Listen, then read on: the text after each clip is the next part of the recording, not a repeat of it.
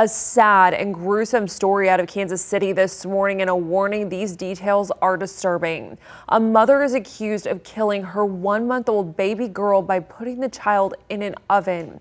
Mariah Thomas is facing child endangerment charges and other charges as well. First responders say a witness told them the mother went to put the infant down for a nap but accidentally put her in the oven instead of her crib. Police arrested Thomas on Friday and prosecutors officially filed charges yesterday.